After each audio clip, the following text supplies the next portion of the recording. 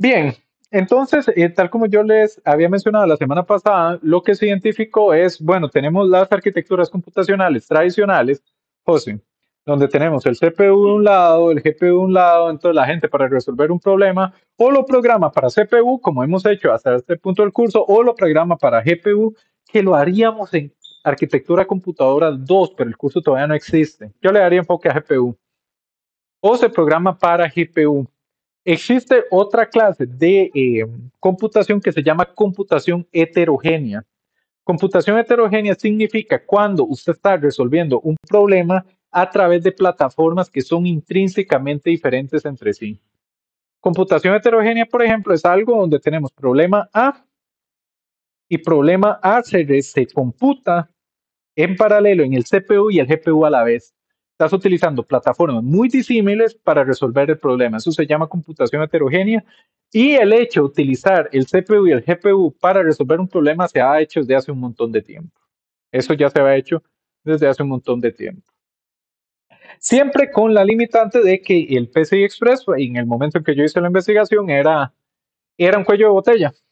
Entonces, habían aplicaciones que se desempeñaban GAO.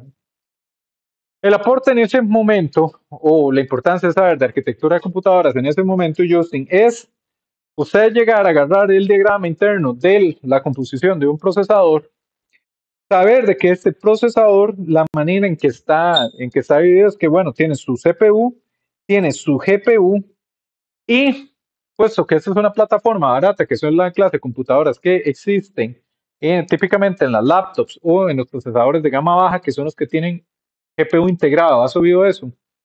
El GPU integrado en el mismo silicio está tanto el GPU como el CPU. Era ver la oportunidad de que estos más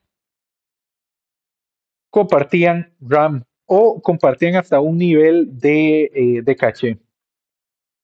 El ver esa oportunidad, lo que se llegó a plantear en su momento es, ¿existirá una manera de hacer una comunicación eficaz entre estos dos? La diferencia con respecto a la otra arquitectura es que tenía, estaban desacopladas y tenían que pasar por PCI Express, pero acá en cambio, dentro del mismo silicio, había un camino de comunicación a través de memoria. Entonces se podía formular un mecanismo que la memoria fuera el medio de comunicación y se pudiera coordinar trabajo de manera tal que se, se pusiera a hacer el GPU para lo que el GPU fuera eficiente, el CPU para lo que el CPU fuera eficiente, o los dos a la vez. Y esa fue la oportunidad que en ese momento se vio. Nuevamente, Brian, lo interesante de esto es que para usted poder llegar a intuir algo de esa clase, tenés que poder abrir los diagramas del procesador, ver las oportunidades y aprender a cómo programar eso. Cómo le vas a llegar al bajo nivel para crear un mecanismo de comunicación, de comunicación de esa clase. Pues el diagrama de flujo, el mecanismo de comunicación, ese que se formuló es este que está acá. Analiza las tareas y las divide en cargas de trabajo.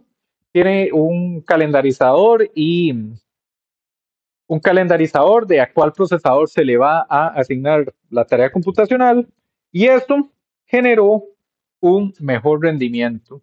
Y la ganancia de rendimiento con respecto a algoritmos tradicionales fue, como, fue en promedio 45% lo cual es un montón. Un 45% es para una aplicación que te duraba 10 horas, estás durando 5.5 horas.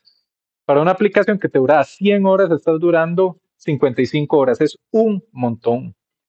Y este fue, este fue el aporte que se hizo con esta, con esta investigación.